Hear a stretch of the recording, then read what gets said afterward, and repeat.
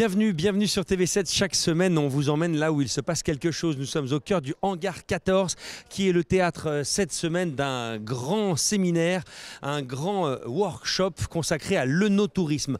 Le tourisme en France, euh, c'est une activité hyper importante. La France est le pays le plus touristique au monde. Et l'œnotourisme aussi cartonne avec plus de 10 millions de nos touristes chaque année dans notre pays. Il existe plus de 10 000 caves professionnelles qui ouvrent leurs portes aux étrangers, mais aussi euh, aux Français. Et Bordeaux est la ville la plus visitée en termes de nos tourismes. Et on va en parler avec l'un des organisateurs de ce salon, Thibaut euh, Lemire. Merci euh, Thibaut de nous accueillir ici.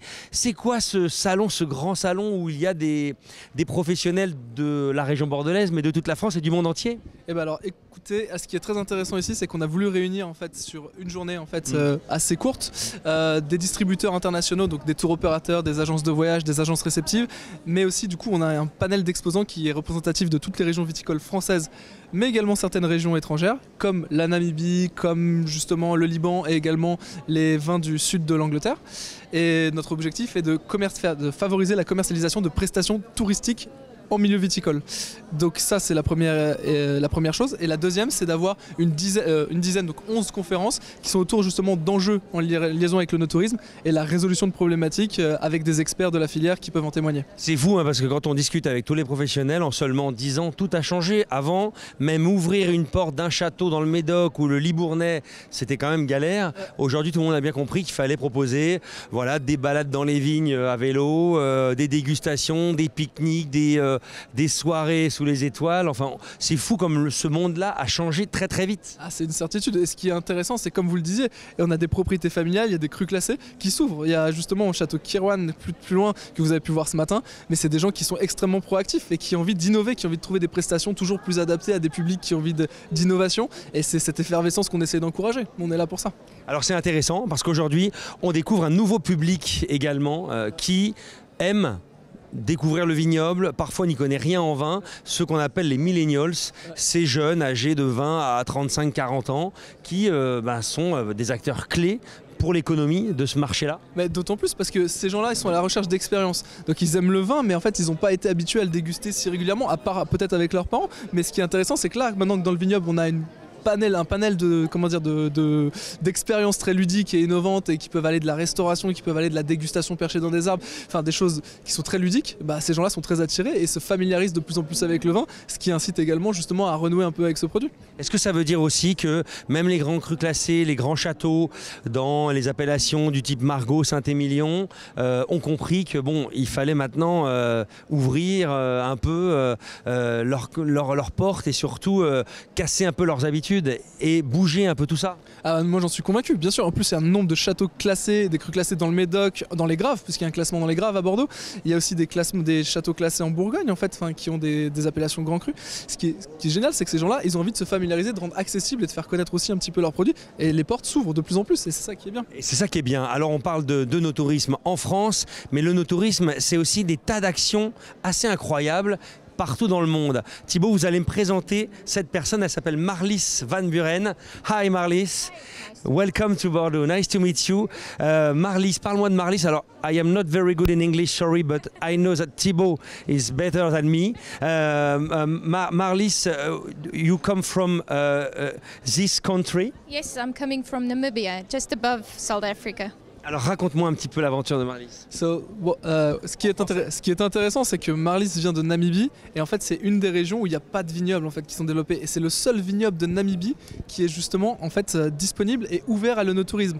Ils, se font, ils ont un projet de conservation animale euh, dans le cadre de la fondation Nankoussé, et un site qui s'appelle Noiras, qui est au sud en fait, de la Namibie, Ici. ici, et, juste là-bas, et qui permet justement d'ouvrir des portes à, des gens qui veulent découvrir une production namibienne. Et ils ont des, lodges, ils ont justement des capacités d'hébergement qui sont magnifiques, somptueuses, un accueil de très grande qualité, un- une cuisine typique namibienne. Et on est sur des projets de recherche avec des chercheurs internationaux brillants, et on a la possibilité de développer une activité personnelle et de rendre service à la propriété en découvrant justement une, une attraction œnotouristique en parallèle. Donc c'est une activité œnotouristique qui en plus protège les animaux. Exactement, et c'est ça, la- c'est ça tout l'intérêt, c'est que le temps fourni dans le cadre d'une initiative de tourisme, c'est ce qu'on appelle du tourisme volontaire, euh, volunteerism, ce qui est incroyable, c'est qu'on sert un projet de conservation animale en faisant de l'onotourisme et en même temps on côtoie ces, ces- justement ces animaux et dans le plus grand des respects et avec un encadrement de- d'experts de, grande qualité. Why for you, Marlis, it's important to be here? I think it's because it's so important. That's a big uh, question that everybody asks. Does tourism really play a role in wine? I think tourism in Namibia for sure plays a big role in our sustainability in the country. And, and in wine, if it can do a difference, make a difference in Namibia in tourism, of course it makes a big difference in everywhere. And it's the best marketing ever, is tourism. Bah, ça me semble parfait. Elle a raison, ce qu'elle qu'elle nous dit, c'est clairement que ce que- le, tou- l'onotourisme l'onotourisme en matière justement en Namibie à travers justement la, enfin, permettre justement de se- de- d'entamer des projets de conservation animale ça peut être quelque chose qui inspire d'autres pays qui peuvent inspirer d'autres initiatives et qui peuvent favoriser aussi le développement justement de, de leurs projets personnels c'est-à-dire le développement d'une conservation à plus grande échelle sur une multitude de pays donc c'est très encourageant C'est clair. And I know your best friend is Angelina Jolie, la célèbre actrice Angelina Jolie. For, for Angelina Jolie, it's very important uh, this cause and this problem. Yeah, for her, she, I mean, she's been a friend of mine before we started Nakuse, so I've, I know her now for 19 years, and uh, she is she fell in love with the country, and uh, she's supporting the conservation and the school and the Sun Bushmen, and she loves the wine. So yeah, it's great to have somebody that big. Je crois qu'on a compris. I understand your answer. Thank you very much. Merci beaucoup. Bienvenue à Bordeaux. Merci Thibaut. Venez, on va aller rencontrer maintenant d'autres acteurs et notamment un Français. Il s'appelle Thomas. Il a un look très original et je pense que ça joue aussi dans la réussite d'un projet no touristique. Ce jeune homme s'appelle Thomas Dos Santos. Bonjour Thomas, Euh, vous faites partie donc des participants à ce workshop de no tourisme et vous, vous proposez euh, une activité qui s'appelle le Rustic Wine Tour. C'est quoi? Oui, Rustic Vine Tours. Alors euh, Rustic Vine Tours, c'est une jeune entreprise qui euh, s'est développée il y a à peu près 4-5 ans. Donc on est, on est vraiment sur, sur du wine tour à Bordeaux, donc découverte du vignoble Saint-Émilion Bordeaux, mais pas que sur une offre enfin, qu'on peut retrouver chez nos, chez nos partenaires et nos concurrents, mais sur une offre un peu plus exclusive. On fait du bike tour, électrique bike tour, donc du côté de Saint-Émilion. Ça veut dire donc qu'on prend un vélo électrique et qu'on va découvrir le vignoble à vélo. Absolument, c'est ça. On, on- on est sur les coteaux vallonnés de Saint-Émilion, on est vraiment sur la découverte euh, euh, voilà, des, des différents châteaux, de différents prestataires, sur des activités contrastées et, euh, et beaucoup de vin euh, dans, dans une bonne humeur et un aspect très ludique. Voilà. C'est intéressant. Vous avez quel âge? J'ai 27 ans. Il est super jeune, le Thomas, et on se rend compte que on parle de nos touristes, on parle de vin, de vignoble, et vous n'avez pas 30 ans et vous vous dites bah oui, ça peut nous intéresser si on adapte ça à notre cœur de cible. Absolument, on, est, on, on essaie vraiment, même aujourd'hui, de, de développer sur différents euh, aspects de la région bordelaise et de découvrir aussi à travers d'autres, euh, ben, euh, comme le, Wine de, de- de- Club Tour de l'onotourisme, on essaie vraiment de- de- d'ouvrir des possibilités euh, à différents types de clientèle. Vous avez vu Ça joue aussi le look quand même, le- quand, on, quand, on veut, quand on veut bien présenter dans ce métier.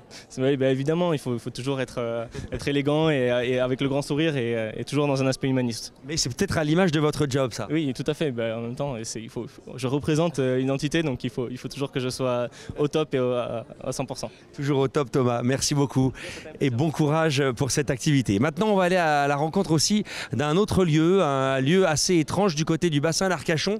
C'est pas moi qui le dis, hein, c'est puisqu'on va aller à la rencontre d'une brasserie qui s'appelle Mira, la curieuse brasserie Mira. Et c'est Sandra, Sandra Tertrais qui euh, gère cette brasserie et elle a aussi son stand ici parce que les brasseries, les restaurants sont aussi euh, des lieux évidemment touristiques. Et elle est là, la brasserie Mira, et je vais à la rencontre de Sandra. Sandra est la curieuse brasserie Mira. Bonjour Sandra, dites-moi, on va du côté de la Teste? Exactement. C'est quoi cette curieuse brasserie? Alors la curieuse brasserie, c'est euh, la brasserie donc à la teste de bûche, brassée en fait avec l'eau de source du bassin. C'est pas vrai, c'est de la bière? Exactement. Avec modération bien sûr. Bien brassée avec l'eau de source du bassin comme je disais. En fait c'est une eau qui arrive directement du massif central et qui a plus de 22 500 ans. Et c'est une eau qui est naturellement potable, ce qui est fait très rare en France. Du coup nous on n'effectue aucun traitement sur cette eau, donc il n'y a aucun produit chimique dans nos bières. Ce qui est vraiment énorme parce qu'en en fait il faut savoir que l'eau représente 82% du produit.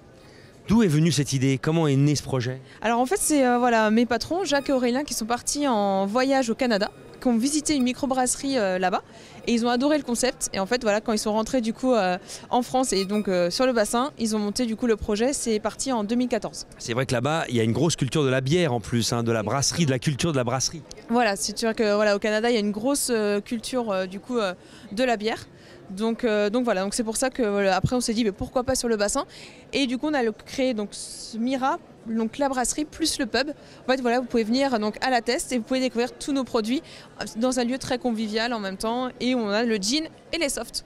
Parce que je sais aussi que sur place, vous organisez beaucoup d'animations, des rencontres, des concerts, ça bouge. Ça bouge énormément, les gens sont. euh, on a vraiment maintenant notre clientèle qui est très fidèle et vous pouvez donc avec un lieu en fait où euh, la convivialité, la musique, l'art et surtout bien sûr la bière est réunie. Franchement, dans cet exemple-là, mais parmi tant d'autres, vous cassez vraiment les codes avec, on va dire, le no-tourisme à la papa.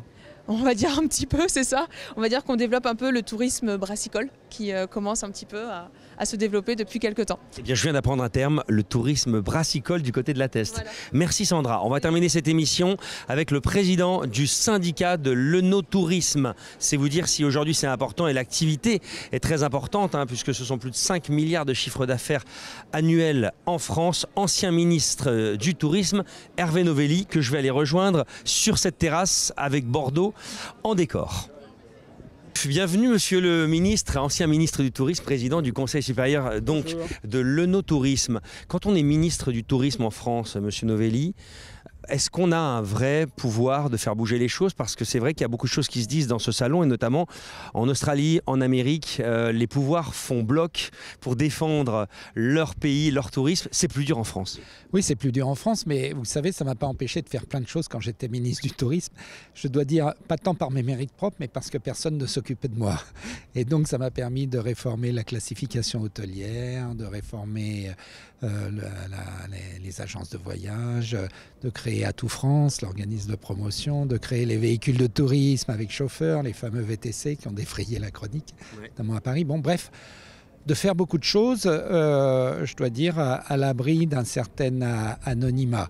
Parce qu'en France, euh, lorsque vous réformez à grand bruit, eh bien, il y a toujours des gens qui s'y opposent. hein. C'est ainsi. Et donc, il vaut mieux réf- réformer à bas bruit.